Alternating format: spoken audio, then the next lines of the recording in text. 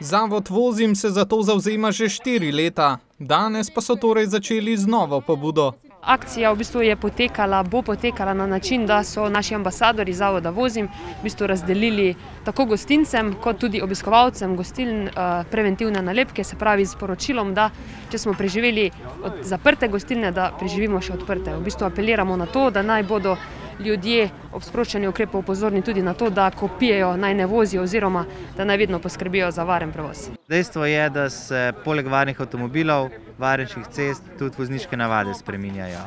In če lahko s takšnimi akcijami rešimo vsaj še kakšno življenje, kakšno več in preprečimo še kakšno prometno nesrečo s hujšim izidom, se mi zdi, da se splača stiskati in opozarjati. Heroj je v tem primeru tisti, ki se ponoči odzove na klic prijatelja in se odpravi ponj, če je treba tudi v pižami, ter mu tako nudi varen prevoz domov.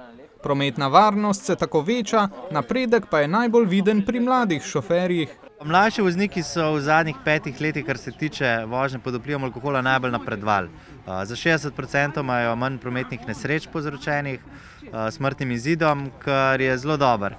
In zdaj je čas tudi, da malo starejši se začnemo po njih zgledovati. Mladi so lahko v bistvu v tem smislu tudi zdaj vzor ostalim starejšim voznikom, tako da vidimo, da neke preventivne akcije in stvari, ki se odvijajo na področju prometne varnosti, imajo v bistvu vpliv in izboljšajo, izboljšujejo prometno varnost.